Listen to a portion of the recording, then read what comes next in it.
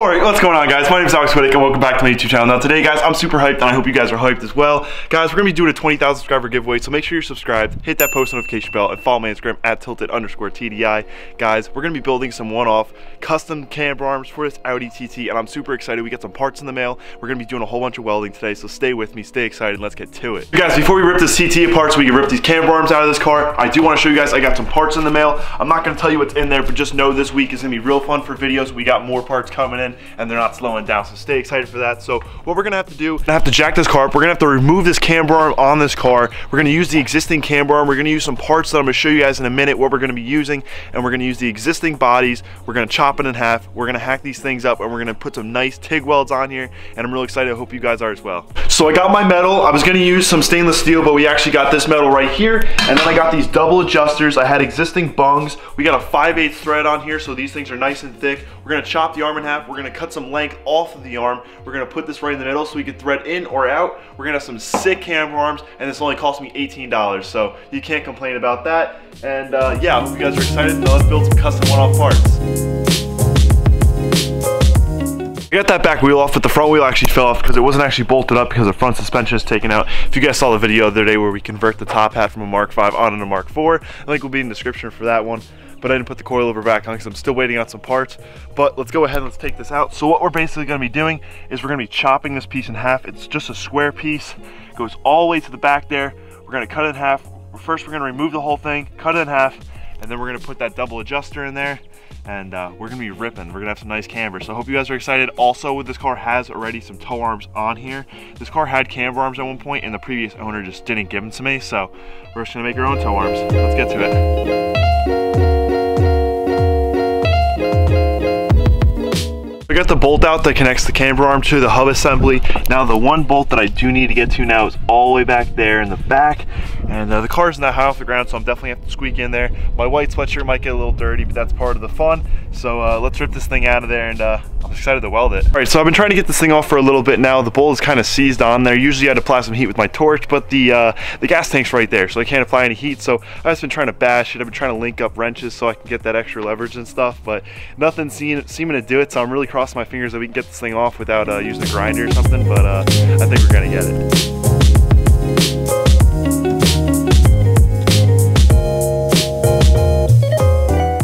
As you can see, that bolt is super seized. We got to move about half an inch. This was not the attire for me to be wearing. Completely destroyed the sweatshirt and uh, yeah, these aren't the pants to be wearing either. I'm wearing like a like a family type nice clothing today because it's Easter, nothing to do. So I'm gonna go upstairs, grab another sweatshirt and uh, head back out here and destroy that one. I took my sweatshirt off and then I realized it was warm out here. It's not even cold. It's a little bit breezy, but it's like 65. Really nice weather today. And uh, I just went back underneath the car after I was struggling for so long and I literally just mm, and I muscled right through it and I got the bolt loose. So I'm, I'm starting to work it back and forth now. We're probably gonna get it out pretty soon and we can finally just rip this arm out. I'm so excited weld this thing. So if you have a Volkswagen, BMW, or an Audi, you always have that one friend who doesn't want to help you work on your car. And you're always wondering, why is that? And if that bolt doesn't explain, I don't know if you guys can see that bolt right there, but it is hitting the subframe bolt Hopefully you guys picked it up in the time lapse, but that subframe bolt is actually in the way of me taking out that control arm bolt. You can't just slide the bolt out, you gotta take the whole subframe bolt out. So I'm gonna get to that. Hopefully the subframe bolt can just get removed. Take that bolt out, put subframe bolt back in, and then when I put it back in later, I'll put the bolt head side on the opposite side so the nut goes on the subframe side, which was the same thing that, that happened with the Mark V. You would think that they maybe changed that, but anyway, I'm gonna get that out.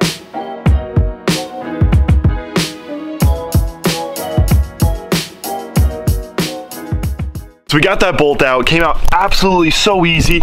The easiest bolt to take out was the subframe bolt. I just loosened it up with my breaker bar I usually tighten my wheel up with, and uh, we got it right off. We literally just took the impact, drilled it out, put it back in after we got the bolt out, and now we'll just take it from the opposite way and feed the bolt back in the opposite way so we won't hit the subframe bolt when we put it back in, but let's finally take this mount out, take it into the shop, cut this thing up, and get to welding. I got the control arm out of there. We're gonna chop this thing in half. It's a little bit, a little bit longer than you know the traditional camber arm, but we're gonna cut this thing in half.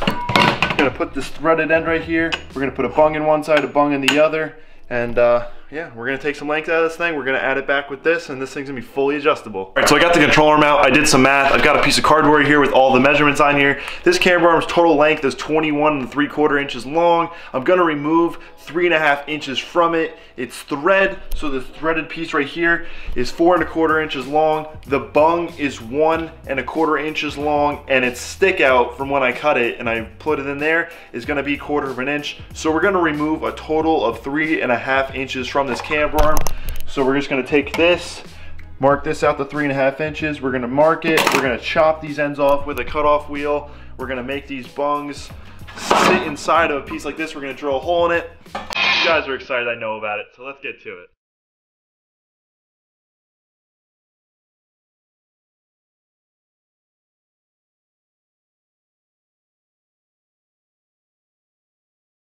As you guys saw, we got that arm all cut up. We got this three and a half inch piece on the floor right here. Goes to the trash. We got these two pieces that we could just sandwich together if we wanted to. Honestly, we'd have like negative 30 degrees of camber if we did that, but no. We're gonna put, we're gonna clean these up. We're gonna get these bungs all prepared so we can weld them into this. We're gonna drill a hole into that steel so then each bung can just be welded to this. And we'll be able to extend this thing three and a half inches back to stock or we'll be able to sink it in three and a half inches. So well, give or take with the nuts and stuff, about two and a half inches. But two and a half inches is going to do a lot.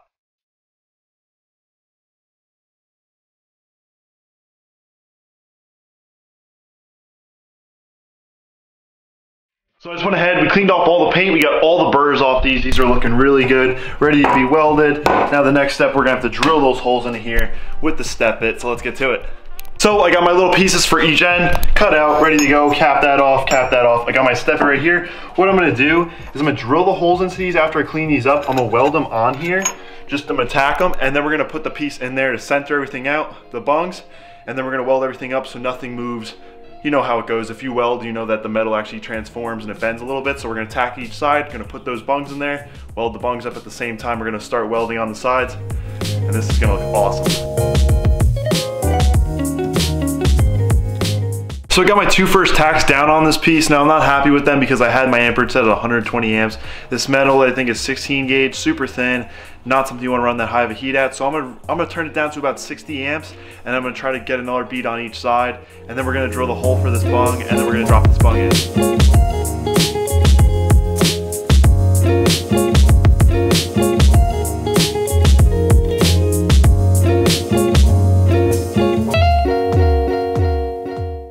Super hot. I got all four sides welded up. I actually decided to drill a hole afterwards because I figured it might bow in the center and I didn't want any of that. So I wanted it to pull tight if it was going to. So I got all four sides completely welded up.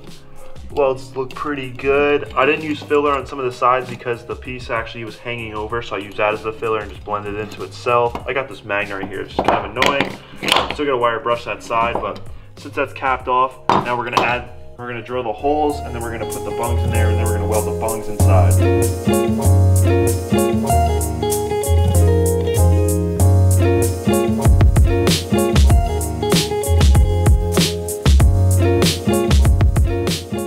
There we go, just like that. I got my welding helmet on, but we are done welding this one little section. So we're gonna have to drill these holes out. Now, right in the center of both of these, we're gonna drill that hole out. We're gonna take this step bit, we're gonna throw this bung in there and uh, like I said, there's this little recess on here. We're gonna drill it out so the hole's this big and then we'll be able to weld right between inside of here in this little burr. And uh, yeah, I'm excited. So let's get this all welded up. Got this hole drilled with the step bit and the reason I only use 16 gauge metal for this is because 16 gauge metal is the thickness of it anyway for the stock arm but also you basically only touch on the edges when you're welding this piece. Now this drops right down into here and uh, as you can see, that's basically touching the corner, that's basically touching the corner, and that's basically touching the corner. I didn't get it perfectly centered, so this side's a little further than this side. It doesn't really matter all that much, thankfully, because we have this whole thread system going on here. But I'm just gonna weld around this edge right now, and then we're gonna repeat the process for the other side, and then we'll have a full adjustable camber arm. Oh, we got those two tacks on the bung, one on this side, one on the other side. I'm gonna lay it down the table now and I'm gonna weld a little bit of each side. I'm gonna keep spinning it around so we keep it nice and level. And uh, then we'll do the same to the other side and then we'll have the camber arm back on the car and adjusted. Lots of fun coming. Dogs aren't allowed on the school bus. Woof.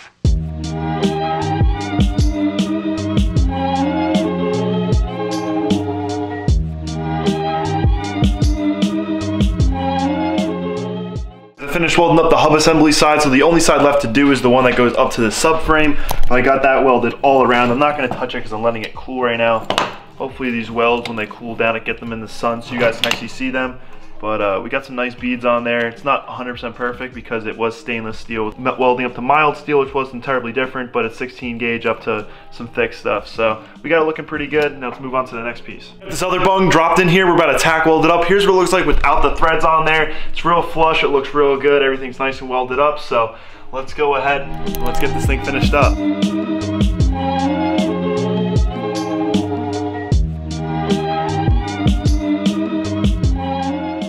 Right guys, so I just finished up welding this side. This bung is in here nicely. This one was out here cooling. So I'm gonna have to thread these two together and I'll show you guys what it looks like when it's all in one piece. Put those two control arm pieces together. I got Rust-Oleum paint on there and to speed up the process a little bit, I took my torch to it. But look how good these two look together. We'll be able to thread this all the way in so they're butted together or we'll get full extension. So we can go stock camber or negative 30, whatever your little heart desires. So let's get to it. Let's throw this on the car and let's see what we get. Before I go ahead and completely throw this into the car, I did want to point out to you guys that this is how this is gonna lock into place if you don't understand how a camber arm usually works. So this adjusts here, one spins to the left, one spins to the right, and since these are gonna stay stationary, this is gonna move and push this in or out, and then these outer nuts right here, these are gonna lock it into place.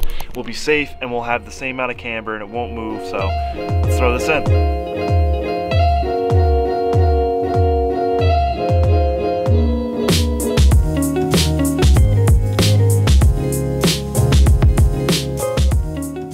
Guys, so I got that camber arm in there, I got it all tightened up. I actually wound up threading it out a little bit so we didn't have an insane amount of camber because I don't have this car's wheels yet, but we just test fitted the RSs on here and they look really good.